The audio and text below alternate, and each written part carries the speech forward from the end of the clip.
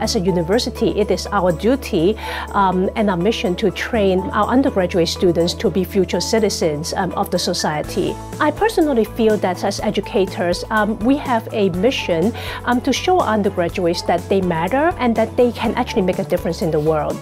We are the first ones in Hong Kong to require um, the student, each of the undergraduate students to take at least one such academic subject. The students will go and experience these social issues. And in the process, they learn by serving the community, and solving these uh, social needs.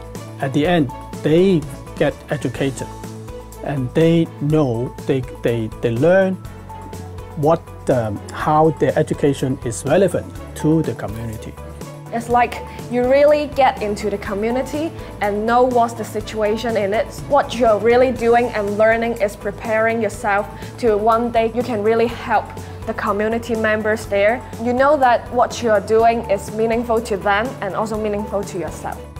We also want to help students to fulfill other graduate outcomes such as global citizenship, internationalization through service learning.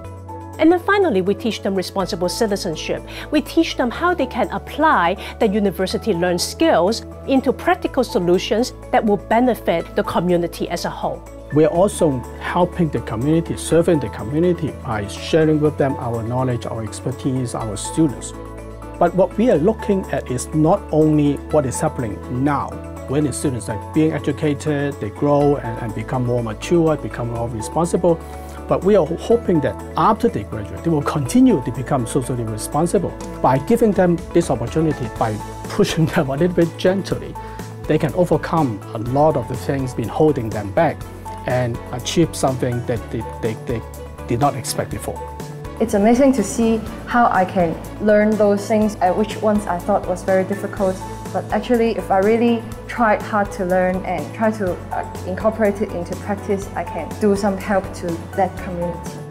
This is why we are doing this. And when I looked at the students and I saw that they realized that, yes, this is not much that we are doing, but through this little bit that we are doing, we can really help somebody. And that was when I really realized, yes, this is why we are doing all of this. This is why we go to all of this effort. This is why we give up all of our holidays, and it is worth it. That's what we hope to see, which is not not only to change the culture of the university, but to, but to actually change the culture of a whole generation of young people.